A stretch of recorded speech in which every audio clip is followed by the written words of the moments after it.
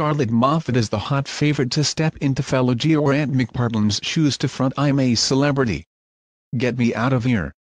Alongside Declan Donnelly, the former Gogglebox star already hosts spin-off series Extra Camp Live from the Aussie Jungle, so appears to have a shoe-in for her 42-year-old pal's position, after he announced he was abandoning all screen duties until 2019. Troubled Ant, who returned to rehab in March, told on Thursday how his treatment for addiction to booze and prescription drugs was progressing well, yet he felt more comfortable taking the rest of 2018 off. His decision to seek professional help came amid the breakdown of his marriage and a conviction for drink driving after his Mini collided with another vehicle in West London, resulting in a driving ban and £86,000 fine. Ant fronts a host of ITV's most popular programs including Britain's Got Talent, Saturday Night Takeaway and I'm a Celebrity. His news resulted in bosses at ITV scrapping the 2019 series of SMT, planned for next year as some segments would be required to be filmed in the next six months. Meanwhile Ant's BFF presenter Pearl Dec confirmed he would continue to front I'm a Celebrity,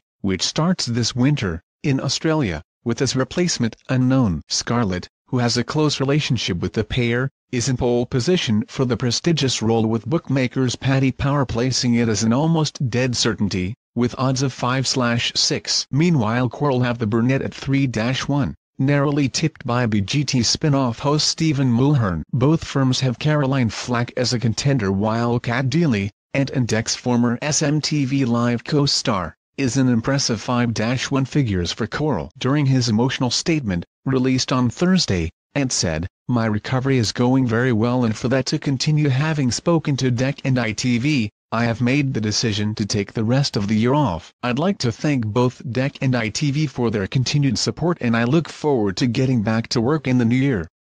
Dec responded to the news, saying, Whilst I am obviously sad at the thought of being without my best friend in Australia this year, I am proud of the work Ant has been doing privately and I am fully supportive of his decision. I'm looking forward to us both being reunited on screen in 2019.